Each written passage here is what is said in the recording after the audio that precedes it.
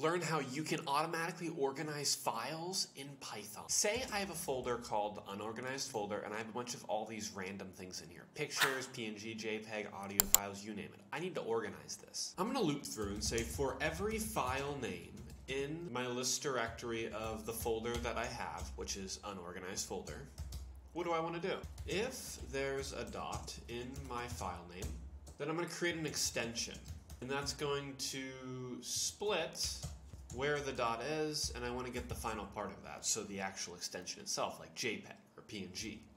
Now that I have an extension, let's make sure it doesn't exist. If it doesn't exist, I'm going to make a new directory with that extension. It's time to move things into our new folders. Let's tap into the move function. Now inside move, I want to provide an f string of exactly where I want it to go. I now have folders within folders. Run your code to organize it, open up Explorer, and check out that. Everything that originally was in the folder is now organized